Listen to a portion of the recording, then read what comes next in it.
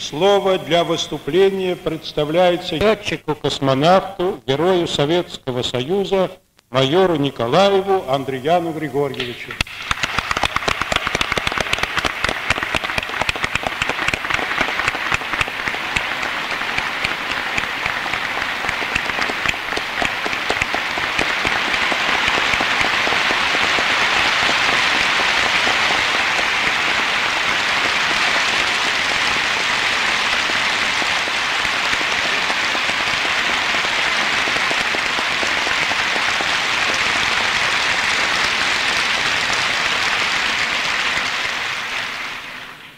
Дорогие товарищи, позвольте мне от всего сердца поблагодарить родную коммунистическую партию, советское правительство, вас, сидящих в зале, весь наш народ и лично дорогого Никиту Сергеевича Хрущева за все то хорошее, что сделано для нас, летчиков-космонавтов.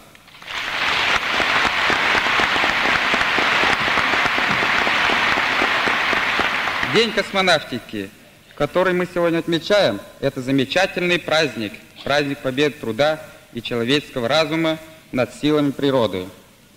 Он рожден нашей эпохой, эпохой торжества социализма и коммунизма.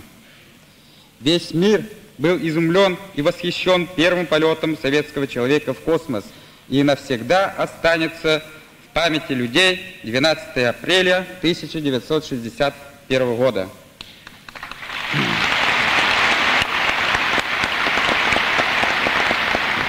После полета Гагарина прошло всего 4 месяца, и космос встречал нового советского космонавта. Герман Степан Щитов совершил суточный полет. 17 раз облетел нашу планету под названием Земля.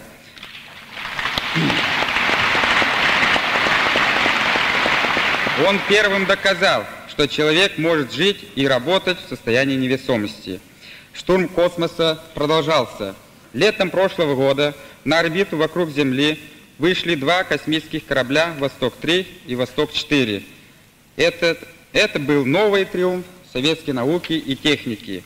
Мне и Павлу Поповичу выпало счастье совершить многосуточный групповой полет. В общей сложности «Восток-3» и «Восток-4» 112 раз облетели земной шар. Покрыто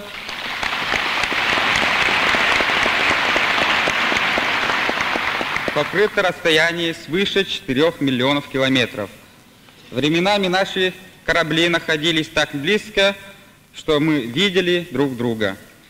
И все это время мы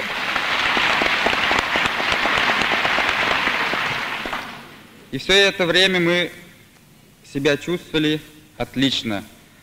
Советские ученые, инженеры, техники, рабочие хорошо позаботились о том, чтобы наш чтобы нам очень было удобно и работать, также и отдыхать. И мы за это бесконечно им благодарны.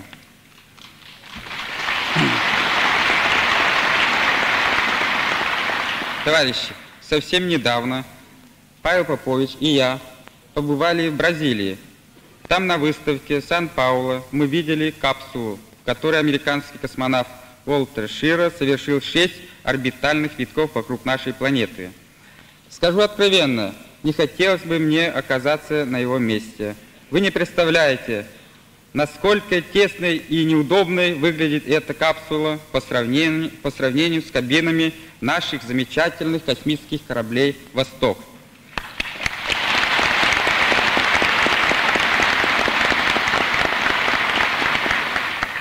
Смотришь на это ненадежное американское сооружение и поневоле еще раз испытываешь гордость за нашу Родину, за народ, создавший такие мощные и совершенные космические корабли.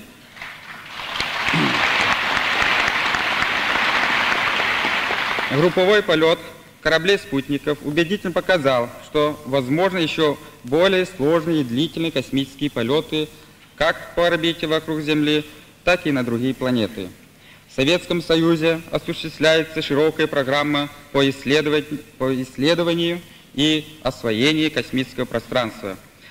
Помимо космических кораблей с человеком на борту, за последнее время были запущены автоматические станции к планетам Солнечной системы Венера и Марсу. А совсем недавно ближайшая соседка Земли, Луна, четвертый раз принимала привет от космического посланца Земли. Первая советская ракета, как говорится, проторил дорожку. Вторая доставила на, лун, на лунную поверхность вымпел с гербом Советского Союза. Третья подарила людям фотографию невидимой обратной стороны Луны. Четвертое, еще больше обогатит наши познания о небесном соседе. Сначала разведка автоматическими станциями, а придет черед и ступит на лунную поверхность нога космонавта. Мы уверены, что советские люди, прокладывающие человечеству путь к коммунизму, будут пионерами в осуществлении таких полетов, первооткрывателями дальних миров.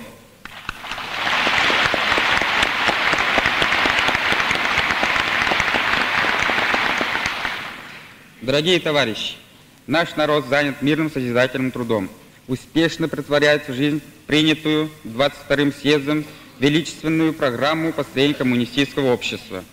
Он кровно заинтересован в прочном и длительном мире и никому не угрожает войной. Советские космические корабли служат исключительно интересам науки, делу укрепления мира на Земле. Мы не используем космическое пространство как полигон для испытаний термоядерного оружия. Коммунистическая партия, советское правительство с момента запуска первого искусственного спутника Земли настойчиво борются за то, чтобы просторы Вселенной осваивались в интересах мира и прогресса всего человечества. Последовательную миролюбивую политику советского государства – горячо одобряет и поддерживает все люди доброй воли. Нам, летчикам-космонавтам, пришлось с дружественным визитом посетить многие страны, встречаться с различными людьми. И очень часто бывало, что даже тот, кто не разделяет наших идеологических взглядов и политических убеждений, все же вынужден признать высокий уровень развития советской науки и техники, неоспоримое превосходство нашей Родины в освоении космоса. Простые люди знают и любят Советский Союз. В этом мы еще раз смогли убедиться во время пребывания с Павлом Романовичем в Бразилии. Эта поездка оставила в нашей памяти огромное впечатление. Мы провели там более двух недель, и всюду нас очень радушно и искренне принимали. Мы ощущали не только тепло рукопожатий, но и тепло сердец мужественного и трудолюбивого бразильского народа по отношению к нам – представителям Великого Советского Союза. Особенно запомнилась встреча с представителями 30 крупнейших профсоюзов. На этой встрече выступил рабочий металлург. Он вышел на сцену прямо из зала с искренней теплотой сказал, «Мы знаем, что советские космонавты – посланцы мира. Мир – это священное слово». И он прочитал свои стихи, посвященные космосу и миру – Весь зал стоя аплодировал успехам советского народа в освоении космоса.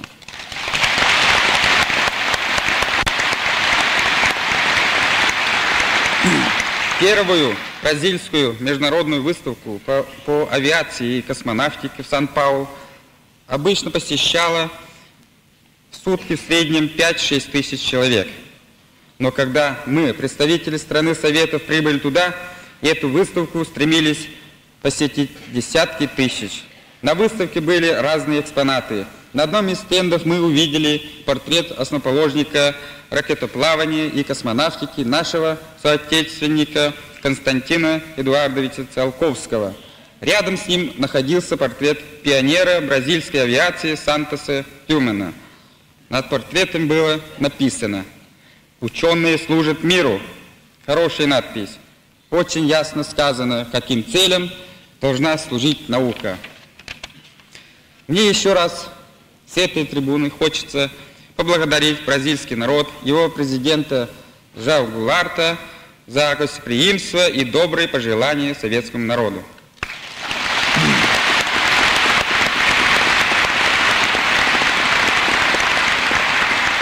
Товарищи, прошло два года с того времени, когда первый советский человек поднялся в космос.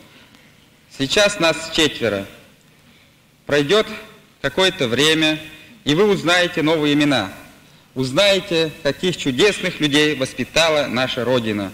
А пока мне хочется от души пожелать им, как говорят у нас в авиации и в космонавтике, высокого неба, славных подвигов во имя советской науки, во имя нашей могучей отчизны.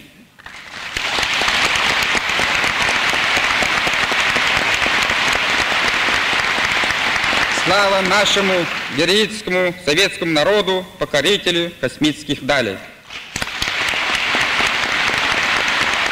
Да здравствует родная коммунистическая партия, вдохновитель и организатор всех наших побед.